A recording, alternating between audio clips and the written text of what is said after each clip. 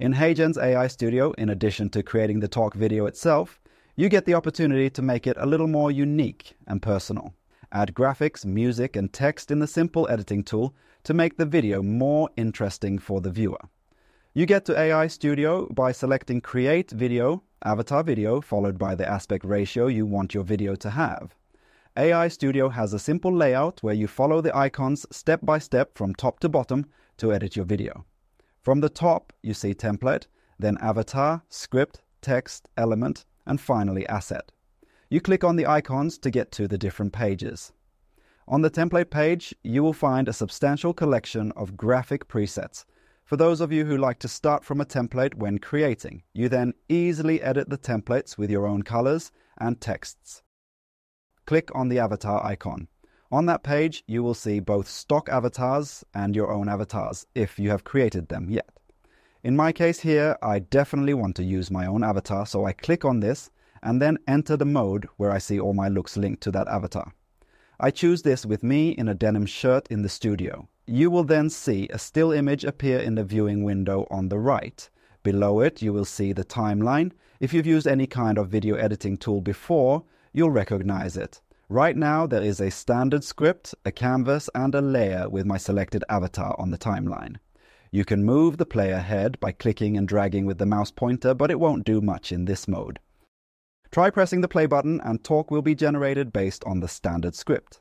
This takes a few seconds, but when it's done, you can hear the script being read when you press play. But the picture still doesn't move, and that's actually as it should be. Generating video and customizing mouth movements requires a lot of computing power and takes a relatively long time, so that process is not initiated until you are done with your video and export it, or as it is called in HeyGen, submit. But the spoken script is really what you need to be able to edit your video further and time in any text and graphics. You can zoom in and out on the timeline with the plus and minus signs to get more overview and finer adjustment control, respectively. Above the display window, you will see a menu bar with a bunch of icons on it. It changes depending on what is highlighted on the timeline.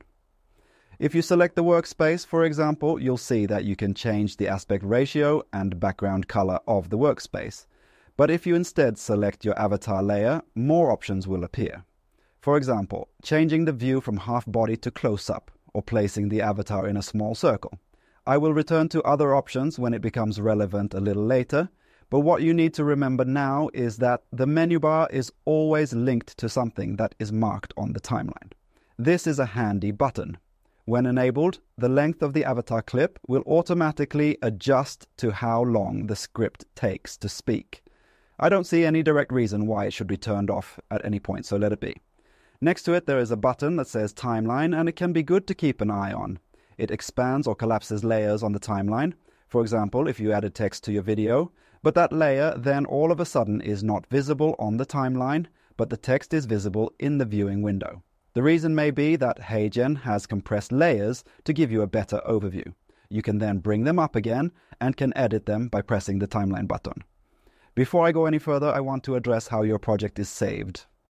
As soon as you start making a new video, it will be saved as a project called Untitled Video. You will then find it under Recent Creations on your home page.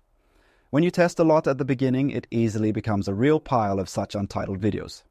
Get into the habit of always naming your video inside AI Studio where you see it says Untitled Video. Then it will be easier to sort through your projects later on. In the top row, you can also see if your project is saved or not.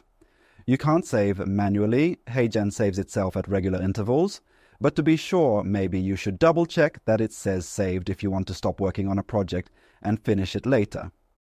One last thing about the timeline. It can contain different scenes. You need to create a new scene if you want to change avatar or angle in the middle of a video.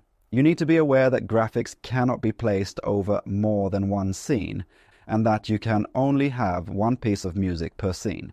A strange limitation if you're used to video editors, but right now it's like that. Now it's time to enter the script you want to be read aloud in your video.